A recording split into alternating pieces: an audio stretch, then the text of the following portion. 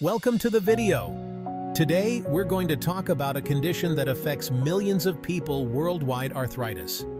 Whether you're newly diagnosed, know someone who has it, or just curious, this video will help you understand what arthritis is, its types, symptoms, and how it can be managed.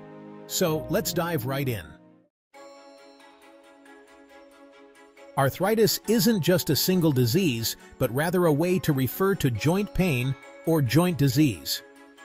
There are more than 100 different types of arthritis and related conditions. The two most common types are osteoarthritis and rheumatoid arthritis. Osteoarthritis is the most common type, often related to aging or injury.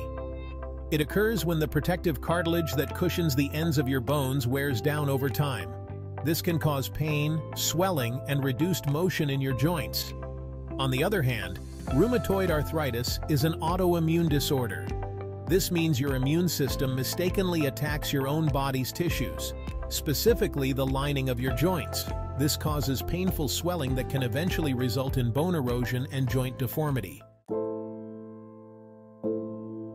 Symptoms of arthritis can vary, but often include joint pain, stiffness, swelling, and a decreased range of motion.